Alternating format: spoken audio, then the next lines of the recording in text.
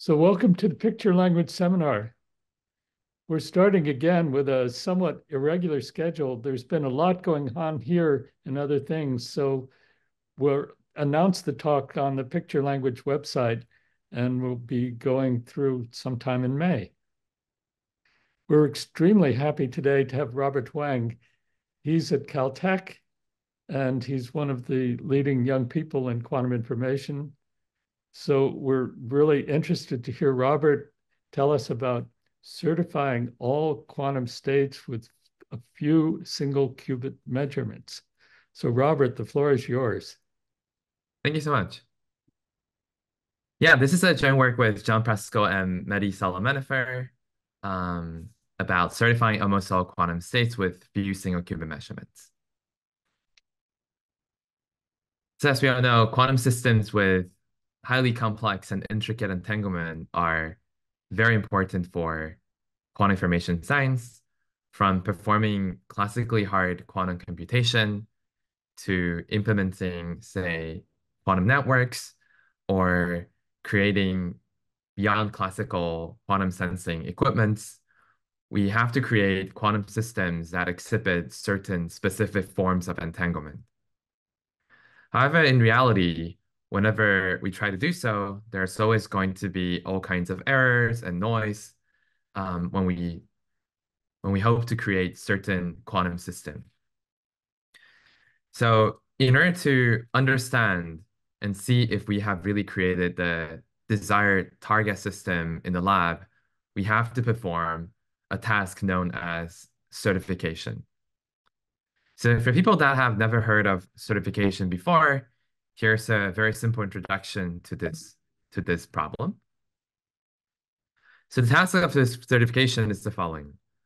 We have a desired n-qubit state psi, which is our target state that we hope to create in the lab. So we are thinking of this psi as having some very complicated entanglement structure um, inside of it. And we would like to be able to prepare them so then we can study its physical property, for simulation purposes or for sensing purposes, etc. However, in practice, we're not going to be able to prepare the target state psi perfectly, but we're going to be able to prepare some other mixed state rho due to all the imperfections in the experimental systems. So the task of certification is to test if the state that we prepare in the lab rho is close to the target state or not by analyzing data that we obtain from quantum experiments. Particular to check the closeness, we can, for example, um, quantify it by checking if the fidelity, psi rho psi, is close to one or not. If it's close to one, then we know we say that it's it's the two of them are close, and if it's smaller than one, we say that they're far. So this certification task is one of the most basic and simplest tasks in considering data science for quantum technology. One way to think about this is that, as I will talk about it later, if we can perform certification, we can perform learning. And when we can perform learning, we can do a lot of other things with it. So going back to this task, the task is very simple. We have a target state psi. We have the experimentally prepared state rho. We just wanted to be able to test if they're close or not. So one could ask, what, is, what are some procedure for doing certification? There have been a lot of existing techniques based on statistics or learning theory that have been proposed for performing certification. Some of them you might be familiar and heard the name. Um, one of it is called XEB or cross entropy benchmarking, which can be used for doing certification. One could also consider using classical shadow for performing certification, etc. However, there are it's still experimentally quite challenging to certify highly entangled quantum system due to um, various kind of problems that people face in using different techniques, which I would talk about in the following. So let me start with the first protocol for doing certification. So for people that are that have heard of classical shadow, one way to do certification is the following. We take our quantum system, we scramble the system using some random Clifford circuit that we sampled, and then we measure everything in the standard basis. So that would be a single qubit measurement on all of it. But before doing the single qubit measurement, we have to scramble it using random Clifford circuit. And using this classical shadow formalism, one can show that by collecting these data for different random Clifford circuit and performing measurement, we can utilize these data to predict the fidelity. So we can essentially use these data to predict the quantity psi rho psi that I talked about earlier. And by looking at that quantity, we will be able to tell if we have accurately prepared the state or not. So one of the advantage of using classical shadow is that in addition to single qubit measurement, before it, you only need to apply a linear depth random Clifford circuit. And this is irrespective of how complicated the target state should be. One only needs to perform these steps n random Clifford circuit. However, the challenge from this approach is that implementing these deep random Clifford circuit can be quite challenging from an experimental perspective. And hence, um, this is not the most ideal procedure to perform in, in, in many physical platform to, to perform certification. Another approach, which is also based on these classical shadow formalism, is to perform randomized Pauli measurement. So instead of scrambling the whole system using a deep Clifford circuit, we what we do is we just scramble each qubit locally. So that is equivalent to performing a single qubit measurement where for every qubit, we just measure in a random Pauli basis. So measure in a random X basis, Y basis, or Z basis. And using the same from uh, using this formalism, one can again utilize the measurement data to estimate fidelity. The advantage of this approach by doing randomized Pauli measurement is that it only requires single qubit measurement on roll. But the challenge is that for target state that are highly entangled, then one can show that it will require an exponential in system size number of measurements in order to estimate the fidelity efficiently and to perform certification. So that's one of the downside of performing randomized Pauli measurement, where we just measure every qubit in a random XYZ basis. Another related approach is based on cross-entropy benchmarking and has been studied um, in the original quantum supremacy experiment done by Google and also many, many follow-up works. For example, in one of the recent work um, by Soonwon Choi, Emmanuel Endres, and others, um, they found that some variant of XEB can accurately capture fidelity and be used to perform certification under certain regimes. So the procedure here is very simple. We take the quantum system that we prepare in the lab, and now we just measure all the qubit in the Z basis. So what that gives is essentially just a bit string that we would generate from, from these measurements. And when we perform this for a measurement for a few times, we would get a few bit strings. And XEB is essentially a procedure that look at those bit string and try to estimate a XEB score out of it. The advantage of this approach is that also it only needs single qubit measurement. And furthermore, not every single qubit measurement, but just single qubit measurement in the Z basis. So this could be particularly nice in various platforms. However, the challenge of XEB is that it doesn't really address the certification task rigorously. And this is pretty clear because all the measurement were done in the Z basis. So for example, if the target state psi has some off-diagonal elements, that's important. And the experimentally prepared state rho says not even quantum, it's just a classical distribution over bit string.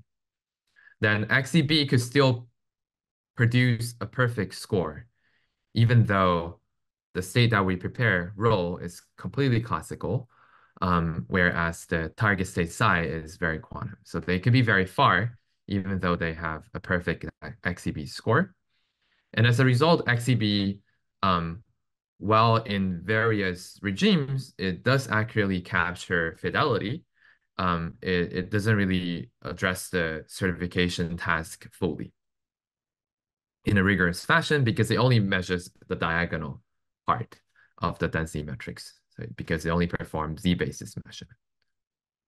There are also various other approaches, but all of the existing approaches um, have the following property, which is it either require performing some deep quantum circuit before doing the single qubit measurements, or if it doesn't have these deep quantum circuit, it would require an exponential amount of measurements in order to do certification rigorously.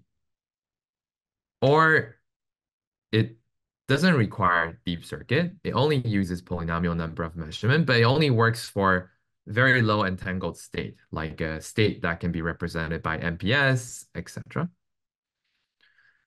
Or if it doesn't lack a rigorous guarantee, so it's not clear whether it works. So this is the the the, the deep part is really what XEB will will fall into.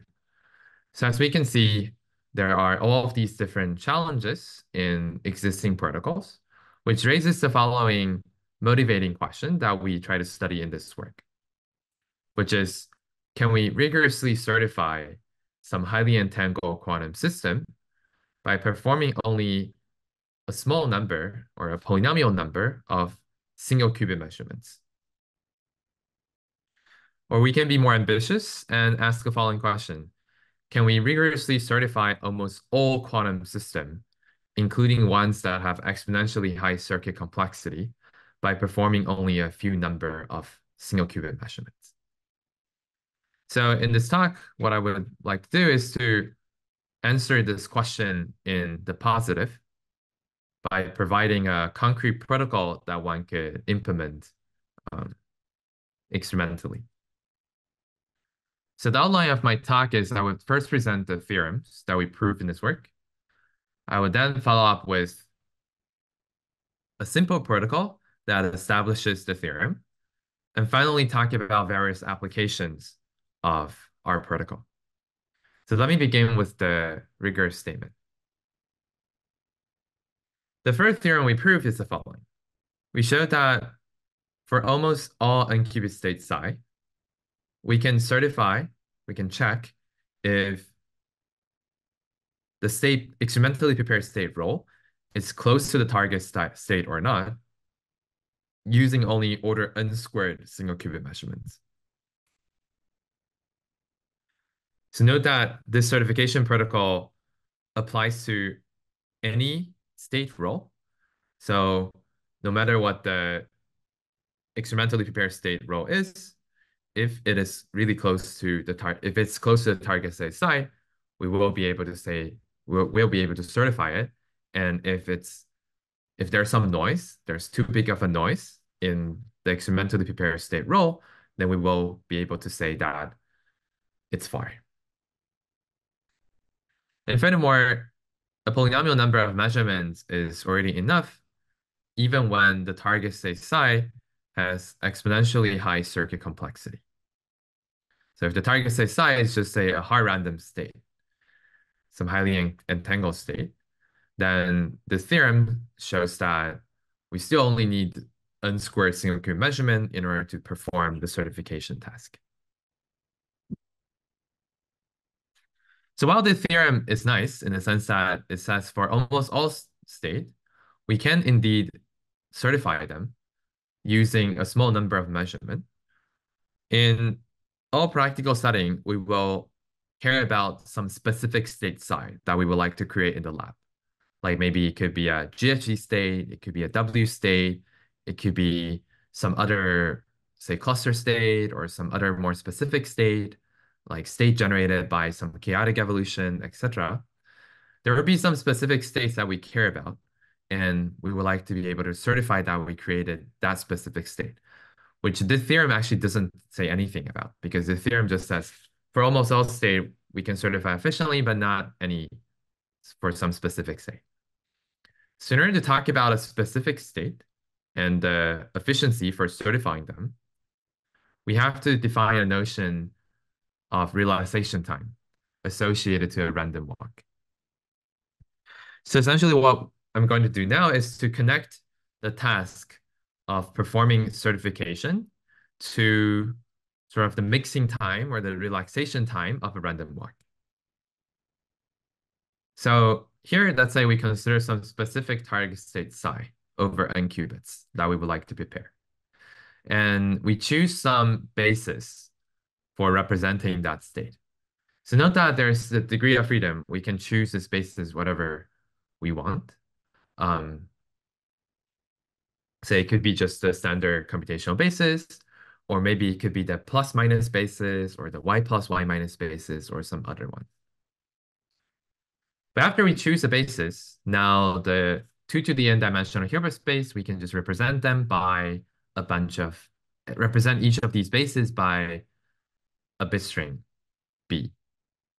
And what we're going to consider is this distribution, this probability distribution, pi of b, which is essentially the distribution that will be generated when we measure the target state psi under the chosen basis.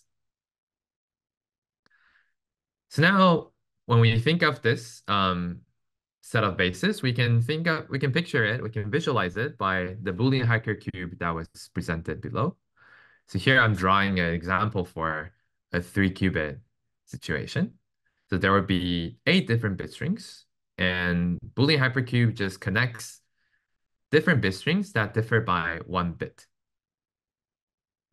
And now given a target state psi, and we choose this basis, it would induce a measurement, it would induce a probability distribution over this Boolean hypercube, which is given by pi of b. And we should think of this pi of b as the kind of the stationary distribution of the random walk that I'm going to construct now. So here, let's consider some random walk on this n-bit Boolean hypercube. So say we start from a bit string b corresponding to one of the vertices on the hypercube. Say this bit string is just 0, 1, 0. The random walk is defined as follows. We will randomly pick one of the neighbor of this bit string. So note that there are three neighbors, or more generally, there will be n neighbors. And say we randomly pick one of them, so we chose b prime, corresponding to this 000 bit string. So now the nothing has happened yet for the random walk. The the the walker is still at point B. Now at this point, after it chose one of its neighbor, there will be a probability that it will stay at the point that it was originally at, or it will jump to the neighbor. Particular with probability proportional to pi of b, it will stay. And with probability proportional to pi of b prime, it would jump to the neighbor b prime. So note that the initial point that it's staying at is b, and the neighbor that was chosen is b prime. So we're essentially just taking the conditional probability distribution associated to that edge and consider this jump. So it would either stay or it would jump to this neighbor. And that's the full definition of the random walk. Um, it's also a pretty standard one when we have a stationary distribution pi of b, um, a random walk that would give rise to this stationary distribution will be this random walk that I just described.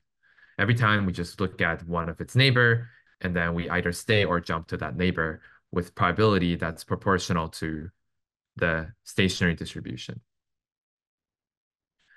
So now what we would do is we will consider the time needed for this random walk, um, there's a typo, random walk um, to relax to the stationary distribution pi. So the relaxation time is given by the eigenvalue of the random walk matrix. But one way to think about the relaxation time is it's very closely related to the mixing time. That is, how many jumps do we really need to do we need to take what is the minimum number of jumps that we need to take such that it will converge to the stationary distribution. Particular, the more precise definition is we will start at a point, a specific point, and consider a point distribution at that point, where that point is selected based on the stationary distribution, but we would just select one point. So at this beginning of time, it would just be a kind of a, a point distribution in the sense that it, probability one, it would be at that point. And then we would start doing this random walk, and we wanted to say that after time tau, it will become close to the stationary distribution pi. So it's the standard definition of relaxation time and very closely related to mixing time. So now what we can prove is given a target state and a chosen basis that induces a relaxation time tau, then we can show that one could certify if the experimentally prepared state rho is close to this target state, the specific target state, by performing order tau single qubit measurements. So this theorem essentially connects these two distinct concepts. One is a relaxation time when we consider the distribution um, induced by the state psi, and one is about how do we certify things? How can we certify if the experimentally prepared state is close to the close to the target state? And this theorem two essentially builds this connection. And there's another kind of modified version of theorem two, where if we restrict ourselves to performing some Pauli basis measurement, then we only need uh, tau squared single qubit measurement. But if we are allowed to perform um, other basis measurements, so not just Pauli basis, like measure in X, Y, Z, but some other basis, then it can be improved to just order tau. But in both cases, as long as the relaxation time is not too large, then one could certify efficiently. And the way we obtain theorem one is essentially by proving this additional statement that for almost all quantum state psi, except for like an exponentially small fraction of them, they have a relaxation time or a mixing time that is bounded by order n squared. So quadratic in system size. And hence, one will be able to certify um, these almost all states by performing only order n squared single qubit measurements. So that's how theorem one can be obtained from theorem two. so now what we'd like to do is to present the protocol that is needed to achieve the theorem that I just stated. The protocol is actually very, very simple. And on the measurement side, we just repeat the following for a few times. So we start with the experimentally prepared state rho, and we're going to perform some single qubit measurement. The measurement is chosen as follows. First, we will randomly pick one qubit, x. And for everything except for that qubit x, we will measure all of them in the z basis. And for that one remaining qubit, we'll measure that qubit in a random XYZ basis. And, and that's it. We just uh, do this measurement procedure for a few times and collect all these data. And then there's a way to do certification. So now how do we use the measurement data in order to do certification? The post-processing look like the following. So note that when we fix one of the qubit x, let's say we fix the second qubit, like in this figure here, we fix the second qubit, so the middle one. And now when we perform a measurement on the rest of a qubit, it essentially specify n minus one bits so for example, if we perform it and then it gives rise to all zero, then it would specify like zero, zero uh, here. Um, and for the remaining one qubit, it will be either zero or one. So by doing this um, z-basis measurement on everything else, it essentially created a post-measurement state on this single one qubit that is given by some superposition or mixture between these two bit strings, B0 and B1.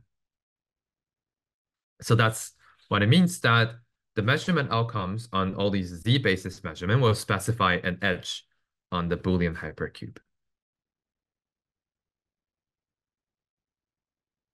So now if we assume that we have done the experiment perfectly, then this initial state should be psi.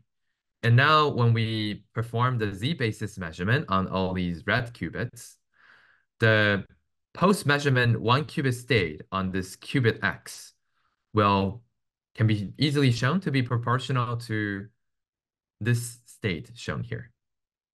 So it's really just uh, um, the target state psi, and we consider conditioning on B0 or B1. These are two bit string that only differ by one bit, where for the bit that is differ, um, it's zero on B0 and one on B1. So these are just standard quantum mechanics.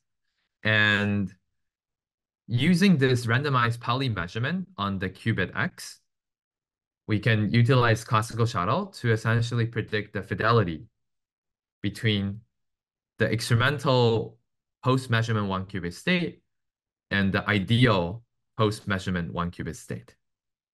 So that's the fidelity omega.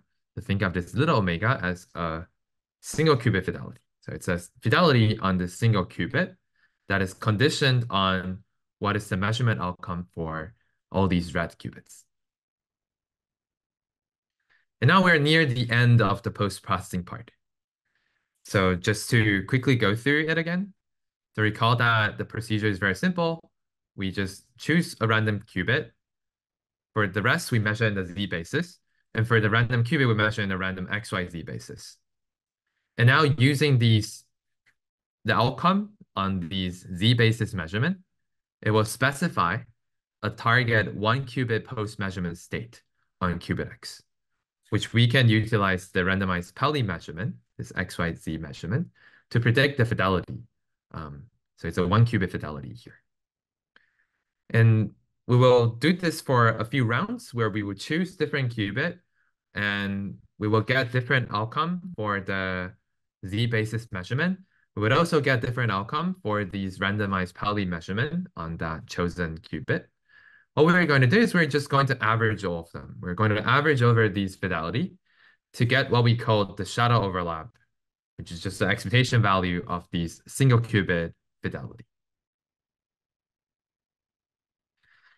And now the key feature is that this new quantity, which we're calling shadow overlap, accurately tracks the fidelity.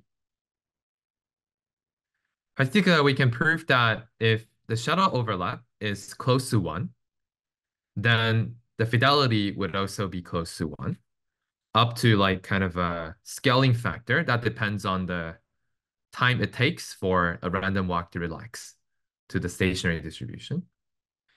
And furthermore, if the fidelity is close to one, it also implies that the shadow overlap object would be close to one.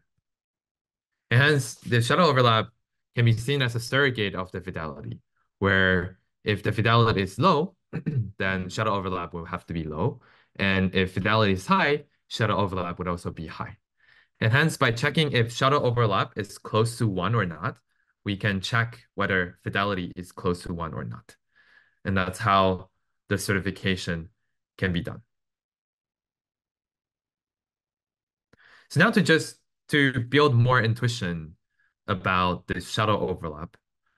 They're going after going through the procedure that I talked about, there's actually a very succinct formula that can be written down that describe the shadow overlap. So the average over i going from the first qubit to the nth qubit just corresponds to we're choosing a qubit randomly. And then we're going to measure everything except for that chosen qubit. So here it'd be qubit i. We're going to measure everything else, which might result in a will well result in a bit string, an n minus one bit string with an associated probability given by this guy. And after we do this kind of partial inner product, this object that's written here, it would just become a kind of a one qubit density matrix, an unnormalized one qubit density matrix. And then we are just going to take the fidelity with the kind of the target one qubit post measurement state, which can be written more formally as this form. So we're just taking this one qubit guy and then this other one qubit guy and take their overlap and then consider summing over different bit string outcome on the n minus one qubits. So now to build more intuition about this shadow overlap, we can look at some example. So say the target state is the all minus state, but what we actually prepare in the lab is the all plus state, so it's very wrong. And as we can see, the fidelity between these two states is zero. And when we plug the formula shown here into the shadow overlap formula here, it's not hard to show that the shadow overlap also gives rise to zero. On the other hand, when the target state is all plus, except for the last qubit is minus. But what we prepare is everything is plus state. So there's one bit, one qubit that was wrong. Fidelity would still tell us that the that the inner product between them or the fidelity between them is zero because one qubit is off, one is plus and one is minus, so their inner product is zero. However, if one plug in these two state into the shadow overlap formula, we see that the shadow overlap actually gives rise to n minus one over n. So the way one should think about shadow overlap in this case is that it's essentially measuring like the Hamming distance between the target state and and the experimentally prepared state. So in a way, it's a much more forgiving metric that when your one qubit is off, when you have n qubit and one qubit is off, it says it says your your distance decreased by one over n. Unlike infidelity, you would just say, oh, you you you you done everything wrong and you you get a score of zero. Shadow overlap says you have did most things correct and hence you would still get a good score. So it has this like Hamming distance nature built into this metric. And hence it's one should think of it as like a like a surrogate of fidelity, but also not exactly equal to fidelity. Like this is an this is an example where they diverge. But the nice thing is that it's diverging in a sort of a nice way because now it can tell us sort of how much error is in the state that we prepare, rather than if we just have one bit off, then the fidelity just go to zero very quickly. So now, after talking about the theorem and the protocol, I would like to showcase some applications of, of this new protocol. So what can we use this new certification protocol for? So the first application is very close to the one that I talked about earlier, which is for benchmarking quantum system. So we wanted to create certain state, but experimentally we were going to create something maybe close to that state, but could also be very far if we did a bad job. Um, and what we can use the shadow overlap for is that we can now use shadow overlap to certify if the state has high fidelity or not. So here I'm going to present some experimental result for like numerical result, numerical experiment result for for for looking at how shadow overlap would scale. So here for this plot, we are considering a four qubit Haar random state as the target state and the experimentally prepared state is subject to some white noise. So the x-axis is the white noise, and as the white noise increases, the true fidelity should start to decrease linearly. And this is a regime where one can actually prove that XEB will work. And hence we can see that the XEB, which is a blue one, does accurately track the true fidelity pretty well, and so does shadow overlap. The same holds for 20 qubit system and, and beyond. But this is under kind of the very idealized setting where there's only white noise um, and Haar random state. One could also ask, what, what if the system actually has some kind of coherent noise, not white noise, but some coherent noise that, that affects the system? Now here in this, in this regime, there's no longer guarantee that XEB would work. And particular for the four qubit case, we see that as the coherent noise increases, the XEB scores start to diverge from the true fidelity. It, it underestimates the fidelity. The fidelity is actually higher than what the XEB reports. On the other hand, shadow overlap tracks the true fidelity more accurately, even though at very high noise, there's also, it's not perfect. So there's also a bit of deviation. Here's another example, but for a 20 qubit system. For bigger system, we see that um, both XEB and shadow overlap works much better. Now, all of these plots that I just showed are for Haar random state, but one can ask, what, what if the goal is to prepare not a random state, but some more structured target state? So let's say we wanted to prepare some product state and subject by some kind of phase operation.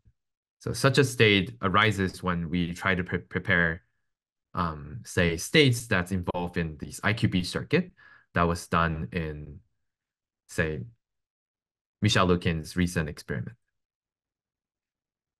So in this case, if we're subject to white noise for 4 qubit, we see that XEB still track the true fidelity quite well, but then it has a very big variance. On the other hand, the shadow overlap tracks it also very well and also and also has a much smaller variance. Here's the result for 20 qubit case. And then we can also ask, what if there are some coherent noise in a system? So that it's not just a pure white noise, but there are some coherent errors due to say over rotation, under rotation, or some other like atoms entangling with one another accidentally, etc. Now, in this case, this is really a case where XEB doesn't have any guarantee um, because it's a structure state and the noise is not um, white noise. Now, XEB can really do something pretty crazy. And this is also what we found from this numerical experiment, where we focus on this four qubit state and consider subject to a coherent noise. As the noise increases, we see that the true fidelities start to go down. The shadow overlaps start to go down as well, tracking it quite closely, although again, not perfectly. But somehow, funnily, um, XEB just start blowing up a little bit. And here's another example, before a bigger system, for 20 qubit system. We again see that XEB is performing somehow um, erratically. Um, it's it's instead of underestimating the the fidelity, it's now significantly overestimating the fidelity. So here, the fidelity is only 0.4, but it's reporting something that's close to 0.8. So these are just some, some experiments that kind of showcases in some of these states, more unstructured and structured state, um, how XEB and shadow overlap compares. Another example for using the shadow overlap quantities that we can use it for certifying ML models. So there have been these flurry of results, um, very exciting ones, where they try to utilize neural networks to represent quantum systems. And they try to, for example, train these neural network representation to, to learn and to do tomography of a quantum state. However, almost all of these neural network tomography algorithms are heuristic in nature, and sometimes they could fail miserably, but sometimes they also work very, very well. So in this case, it's very important to rigorously check if the neural network model is really learning the quantum system well. And here again, in order to certify these ML models, to check if the state that we learn um, and represented using neural network actually capture the real experimental quantum system, we can again utilize the shadow overlap. We just estimate the shadow overlap between the trained ML model and versus the experimental system. If the shadow overlap is close to one, we know that the neural network has learned well. However, if the shadow overlap is far from one, we know that the neural network might have got confused or got stuck in local minimum and, and failed. So here I'll also showcase some examples for doing it. Um, the standard neural network quantum state looks like the following. It's a neural network that represents some n-qubit wave function psi. And the way it represents it is pretty straightforward. It's just we're say we throw in some bit string b, the neural network would just produce a complex value that corresponds to the, the amplitude for that bit string. So that's the standard neural quantum state. However, what we found is that the standard neural quantum state has certain issue in representing states because some state have a lot of algebraic structure in it and hence its standard neural network are not very good in manipulating those. So we consider it like um, a slight modification, still similar, um, where the neural network take in two bit string and it just predicts the the relative kind of the relative amplitude. So the probability amplitude for one bit string divided by a probability amplitude for the second bit string. So this is what we actually consider in the numerical experiments I'm going to show. And by utilizing this neural network for n times, we just say start from some fixed bit string and then keep changing one bit at a time. Um, we would get all these ratios, and we if we just mu multiply them together, we will be able to get the same the same like probability amplitude. So this is a neural network that we're going to use. And what we consider here is we're training um, a class of a neural network quantum state for representing 120 qubits, uh, 120 qubits um, with very, very high circuit complexity. And there's a way that one can play with it so that it actually generates some exponentially high circuit complexity. So now if we randomly initialize the neural quantum state, um, what we found is that for the ansatz that we're using, the initial state has no entanglement in it. So here I'm plotting the subsystem and estimated purity. So the ground truth has a volume law entanglement in the system. So as a subsystem, so we're here we're really showing the half chain, half chain purity. So the purity will start to go down exponentially and stay very, very close to zero until we go back um, go back up at the at at the end of the chain. The randomly initialized neural quantum state doesn't have much entanglement in it, so the estimated fidelity, uh, estimated purity from them is is all very close to one, meaning that there is no entanglement. What we're doing here is we're essentially utilizing a loss function based on the shadow overlap, and we train them and train them to minimize these loss. And then we certify it using shadow overlap. So we just kind of check if the shadow overlap is close to one or not. Like for example, here we're showing the number of training steps. And at the end of the training, we see that the shadow overlap, which is the orange lines, is very close to one, which also implies that the fidelity would be very close to one. And that's also what we see here. And hence, at this stage, we can get, make sure that shadow overlap has successfully certified that the neural network has learned the system accurately. And hence now when we utilize the neural network to make prediction about all of its different properties, it would be accurate. And that's also what we see here. So if we also utilize the trained neural quantum state, which has a fidelity that's very close to one, up to like three, four digits, um, the, the estimated purity um, from the trained neural quantum state accurately tracks the ground truth up to some statistical fluctuation. That showcases the second example for, for certifying ML models using this new certification protocol. The third example is that we can also use this shadow overlap to try to optimize, like variationally optimize a quantum circuit to prepare a target state. To say we wanted to prepare a certain target state psi, starting from say the all zero state, and we would like to be able to find some shallow low depth circuit that can prepare a certain prepare this target state. What we can do is we can also just take the shadow overlap between the currently prepared state and the target state and try to maximize it. So here we look at an example for trying to construct some n-qubit matrix product state using the Hadamard and CZ and also T-gate. It's a universal gate set.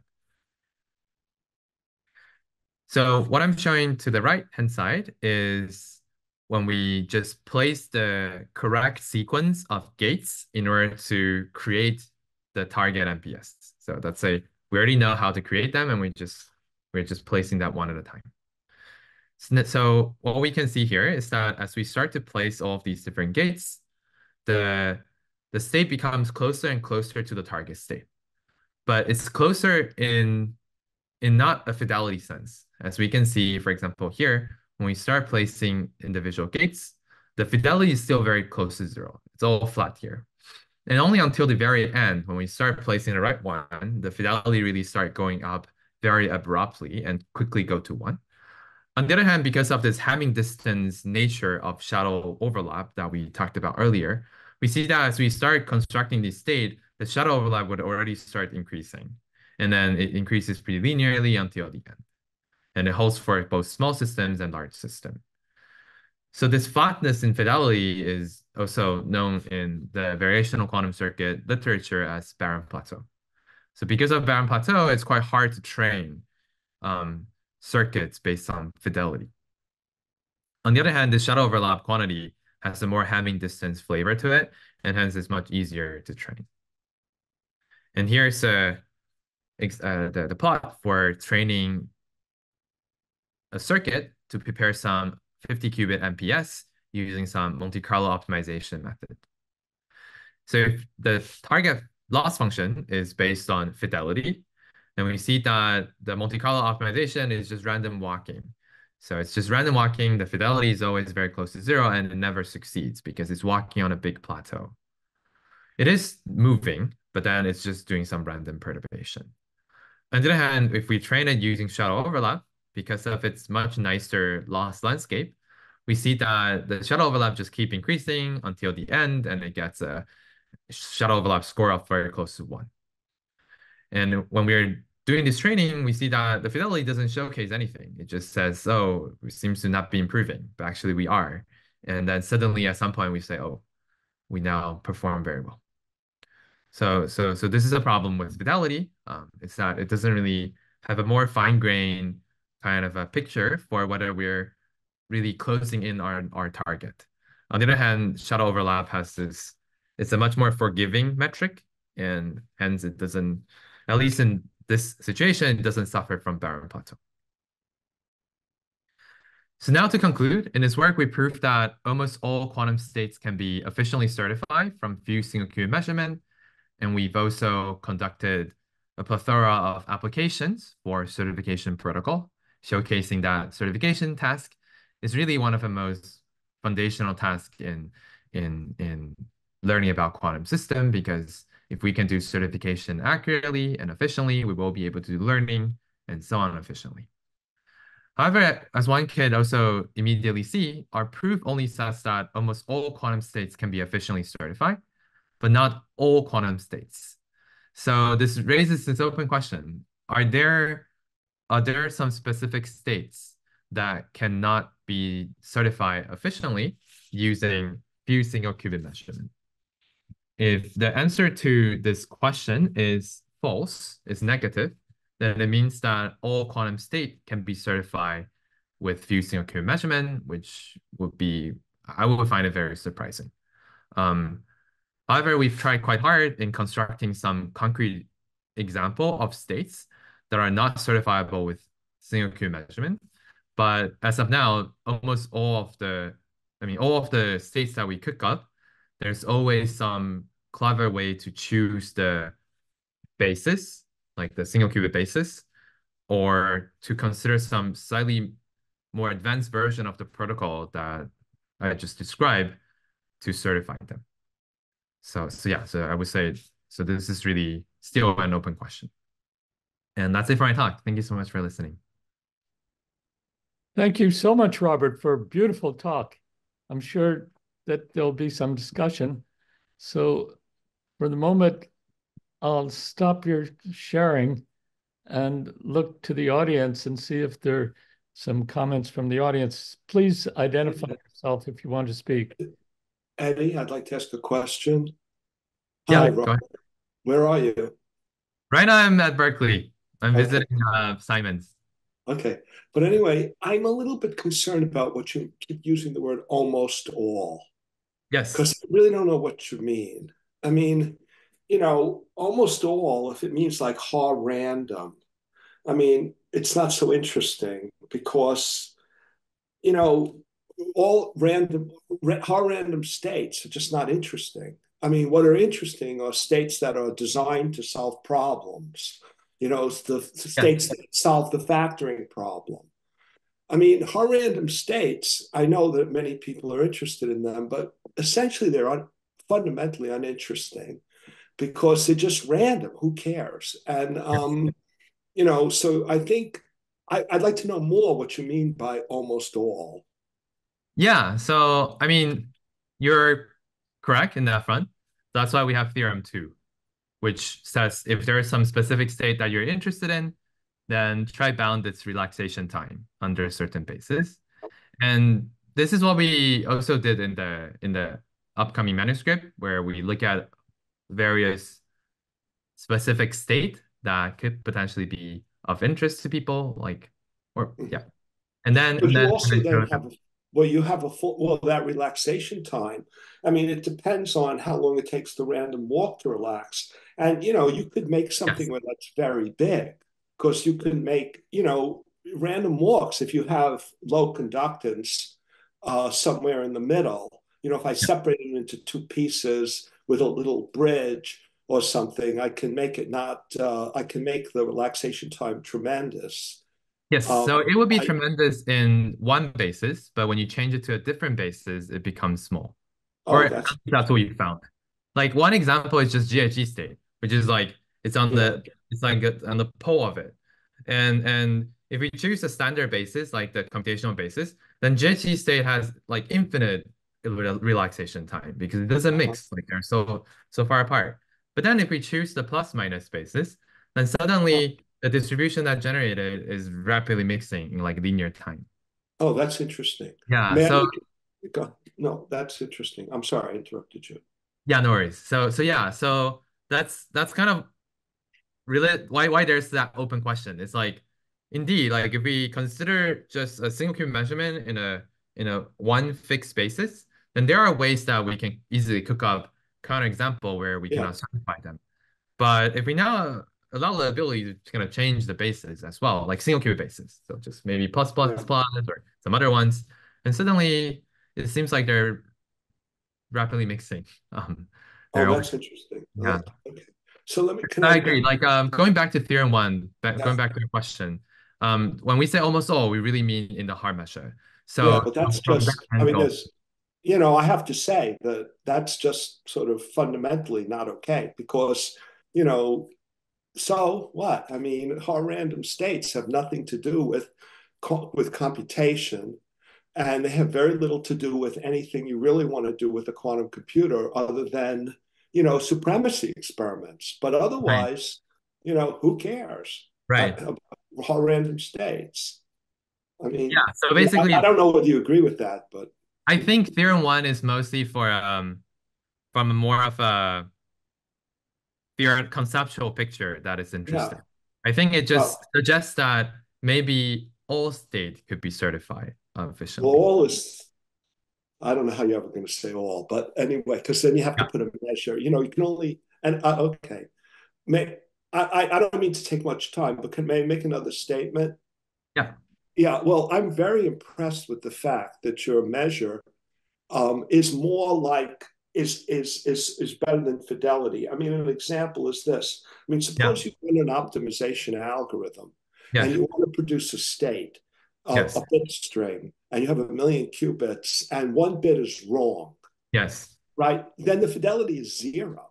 Yes. But you know, you're if you have uh, uh, you know a million minus one bits correct, Yes. you might have a very good solution to your problem. So I oh you know fidelity is just not a good way to check. I mean, if your fidelity is good, you're happy. I can't Yeah. argue with that. But your fidelity can be crap, and Yes. you could still be solving your problem. Like, you could still be solving your problem. Like, you know, you showed before, you have one bit off.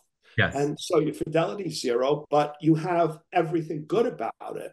So, you know, if you can measure things in a way that's um, more forgiving than fidelity, but still yeah. mad allows you to assert that you're doing a good job on what it is you're doing, I think that's very good, useful. Um, Thank you. Maybe, maybe there's somebody else who has a question. Yeah, I'll shut up.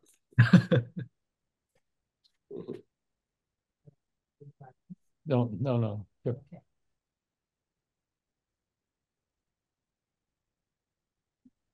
Yes, go ahead. Yeah, hi. Uh, so uh, uh, question is, uh, uh, can you explain further how uh, barren plateau is uh, uh, solved or uh, or not encountered in in the uh, in the numerical result? Yeah, yeah, definitely. So, so that I guess you're talking about this third example. So it's very much related to what Eddie was commenting about. The, the, the final statement that Eddie was saying is that fidelity is really a, a very strict measure. Like if one of your qubit is off, or a few of them is off, then suddenly your fidelity becomes very close to zero. And, and that's one reason that barren plateau arises. There are other reasons. This is one, one reason that barren plateau will arise. And as we can see from here, like when we're really implementing the right sequence of action in order to prepare a certain state, we see that the fidelity just keep getting zero until we're very, very, very close at the end of the construction and suddenly jump to one. And, and this everywhere here is, is barren plateau. So this figure here really showcases barren plateau in this way. Uh, on the other hand, if you we also plot the shadow overlap, and we can see that as we implement the correct sequence one at a time, the shadow overlap just keep increasing, increasing, increasing until the end it gets one. So, so from here, it's pretty clear that it just circumvents it because of its its native structure that that that shadow overlap itself has a more forgiving nature in the sense that if a few qubit is off, um, then it just decreases a little bit. So here one can interpret it in two ways. Like one is that shadow overlap is really not equal to fidelity. It, it's it's you can see that like in in for the state that we just created here at the middle of the construction, the the shadow overlap is around 0.5 but then the fidelity is zero. So so shadow overlap is really not exactly equal to fidelity, especially in this case, but it has a it has this nature which is it it's not yeah it's much more forgiving and it has this Hamming distance flavor in it and hence it circumvents barren plateau for this case. But note that barren plateau can arise in many plethora of, of cases. So it could arise when your cost function itself has this like barren plateau nature. It can arise if there's noise in your circuit. It can arise if your ansatz for your state preparation circuit is too entangling, etc. So, so I would say it, it circumvents the part where we, we choose the metric. Like if we choose the metric to be fidelity, then and it's bad. There's barren plateau. And hence here, like when we train them, the using fidelity, it just kind of doing random walk. But if you train them using shadow overlap, it just kind of gradually goes to a good one. So I wouldn't say this fully resolve everything about barren plateau because barren plateau also have many, many other causes. But at least um, it fully circumvents barren plateau in this kind of state preparation circuit experiment that we did here. So Adam Shaw has a question and then afterwards Bobek. Yeah. Yeah, thanks, Robert. Really nice talk. Um, I have two quick questions. So the first, can I think about this sort of other language that we've maybe spoken about before, as sort of doing Yeah. shadow tomography on like projected ensemble states in some Yes. sense? Yes. Okay. That's how I, in a way, that's how the the project started. It was like we had this project ensemble and it was like, what if we do some combination of project and or like some combination? Essentially, shadow overlap, in my view, is it's essentially like a combination of XEB and classical shadow.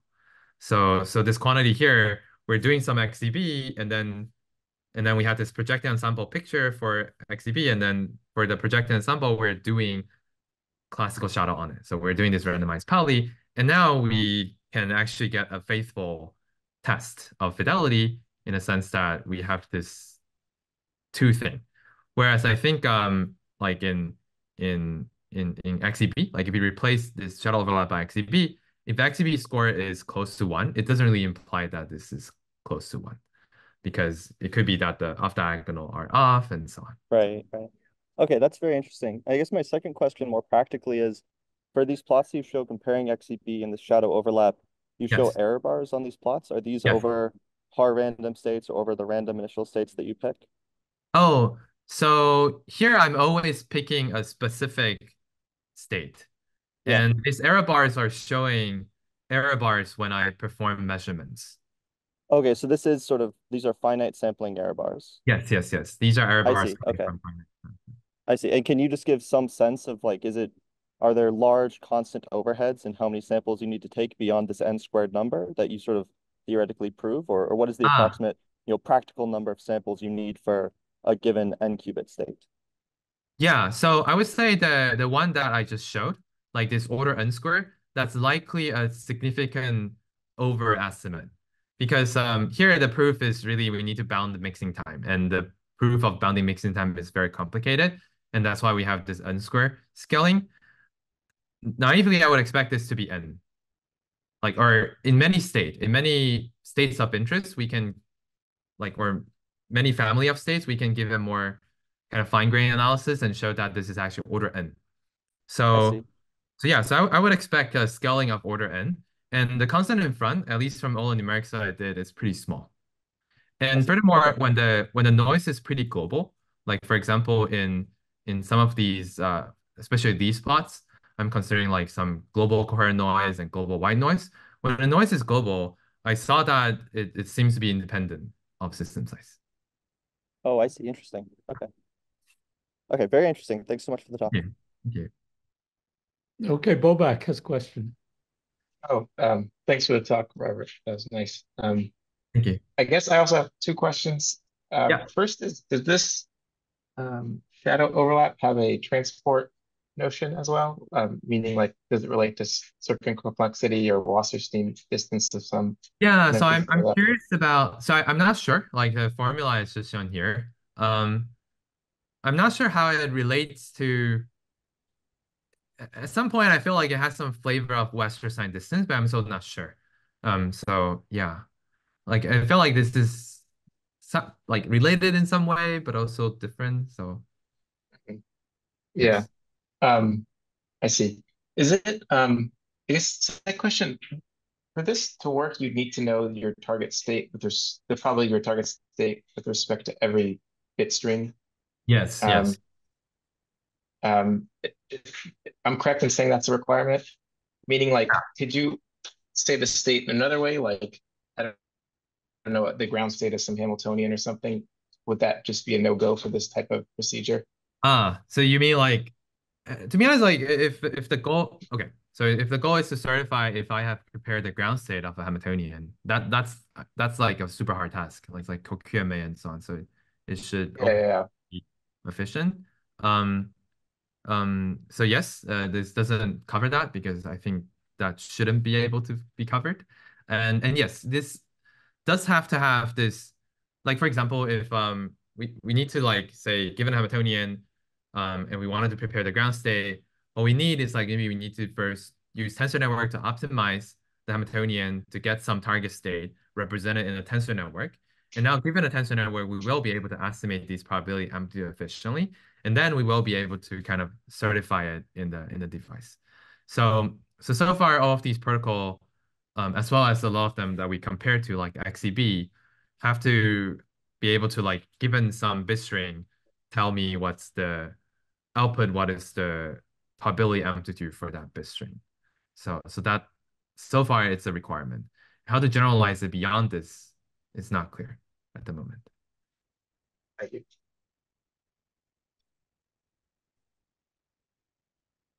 So, so can I say so? So that means that just like in the supremacy experiments where you can't certify at 70 qubits, you would not be able to use this to uh, certify a, uh, a supremacy experiment in 70 qubits. Could be used to certify IQP circuit, like the, this uh, IQP.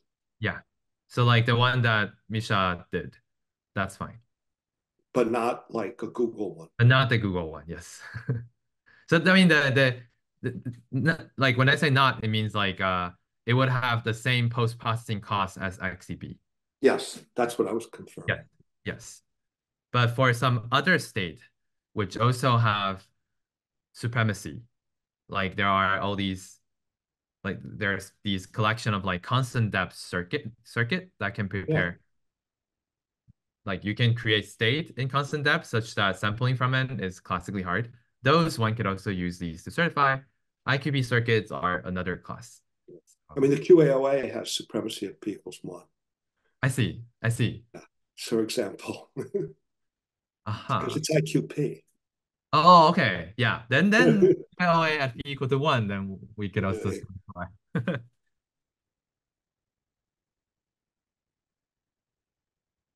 Arthur, you're muted.